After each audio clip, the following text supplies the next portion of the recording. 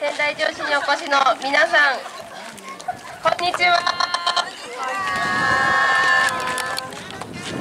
私たちは仙台すずめ踊り連盟と申します。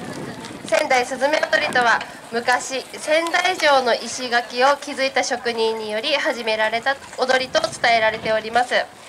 毎年5月に行われます仙台青葉祭りを中心に年間を通じて踊られております。森の都仙台のお祝いの踊りとなっております。本日はすずめ踊り発祥に縁の深いここ仙台城市で岩切冠会。こちらが怪しいすずめ会。2つの祭りによってご披露いたします。ぜひ皆さんもお時間の許す限りご一緒にすずめ踊りをお楽しみください。